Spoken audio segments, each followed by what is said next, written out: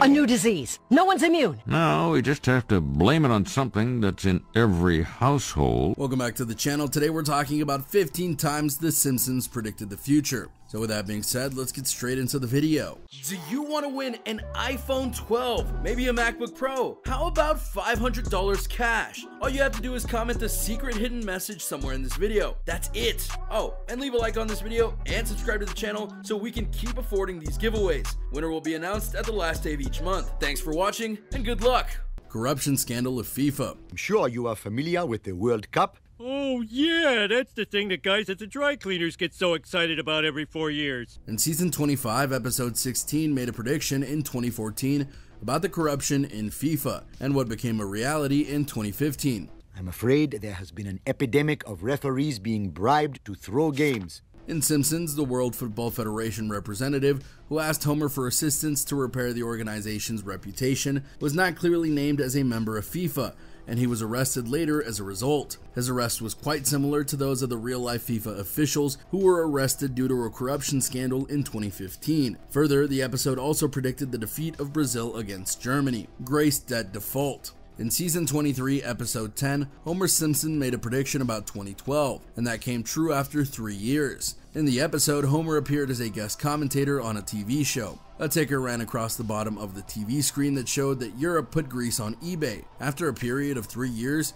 Greece became the first European country to default on the IMF, and as a result, the country faced a serious economic crisis. Smartwatches. Oh, blast. Go to plan B.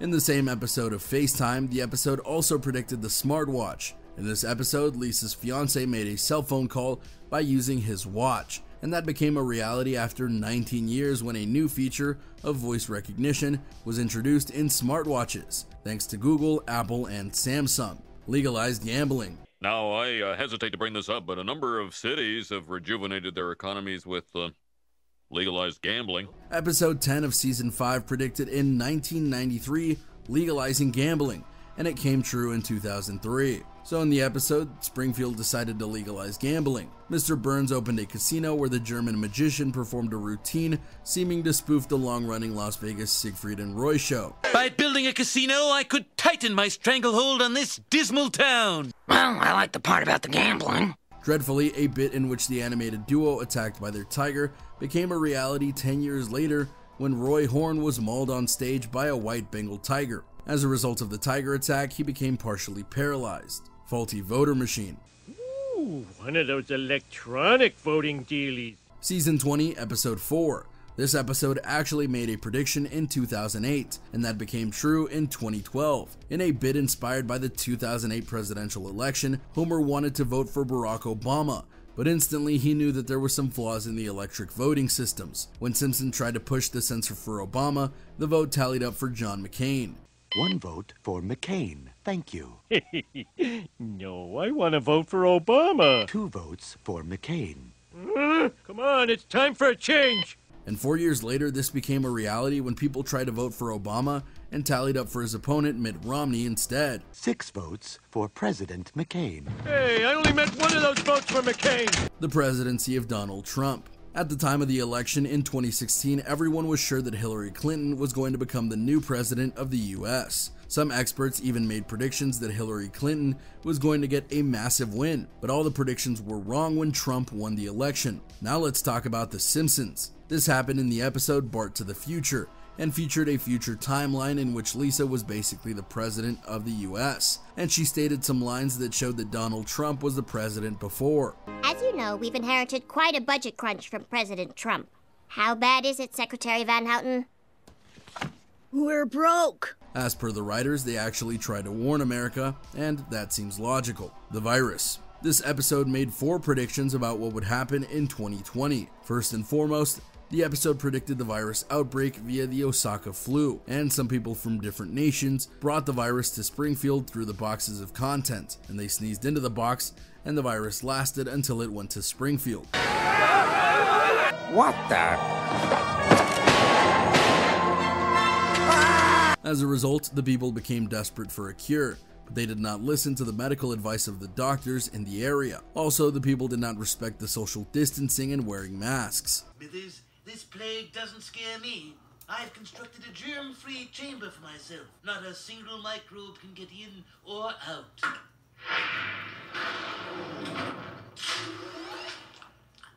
The third prediction was about dangerous killer bees that also became a reality in the US. We've been invaded by a swarm of killer bees. My microphone is no microphone at all. It's bees. Am I being badly stung? Yes, and it hurts. The fourth prediction was about the wrongful arrest of Marge, which led to civil unrest, and that became a reality in the form of George Floyd. Take her away, Bart.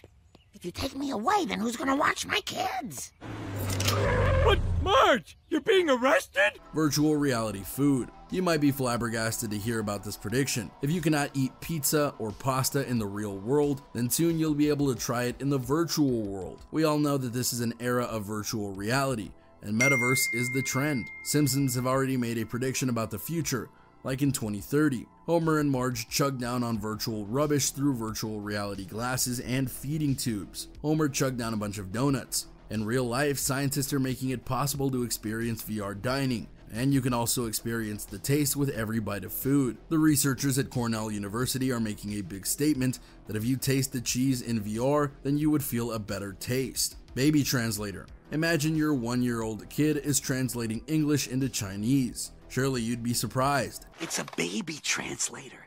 It measures the pitch, the frequency, and the urgency of a baby's cries. Then it tells whoever's around, in plain English, exactly what the baby is trying to say. However, this does not mean that your child would talk and translate the language himself. In fact, scientists would make an instrument that would assist you in hearing what your kid is trying to say. Surely, if it happens, then it would really help the mothers to understand their kids better. Let me tell you one thing if this machine comes out, there would be a long queue outside the stores to buy it for their kids. Still, an app called Cry Translator has been revealed that interprets the crying of a kid and determines whether your child is hungry, stressed, bored, or something else. FaceTime. In episode 19, season 6, Lisa's wedding ceremony predicted the future in 1995.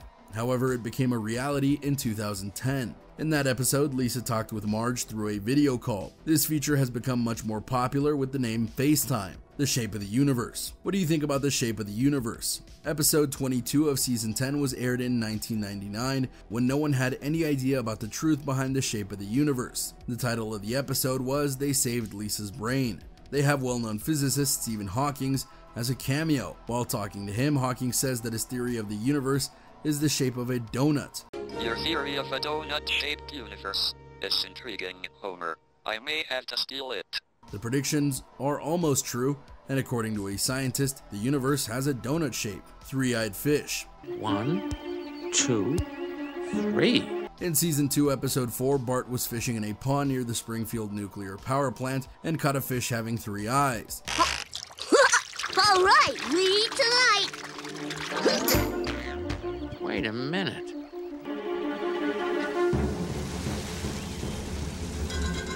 At the time, it looked like a joke for kids, but after a period of 20 years, it became a reality. In Cordoba province of Argentina, a fisherman caught a three eyed fish, and one thing that was astonishing was that the lake was near a power plant. Exactly what happened in the Simpsons episode Robot Takeover. You've got to listen to me. Elementary chaos theory tells us that all robots will eventually turn against their masters and run amok. At this time, we all know that AI is significantly playing its role in today's life. Moreover, scientists have developed a number of robots as well, like drones and police dogs, and they're used in many operations as well. Another company is making robots that can even interact with people and learn something new. Hospitals are also using robotic machines in surgery. There are a number of episodes in The Simpsons that predicted the robot takeover. One of the episode's names was Itchy and Scratchy Land in season 6. In the episode, the animated robots caused huge damage to the world. Oh, for gosh sakes, what now?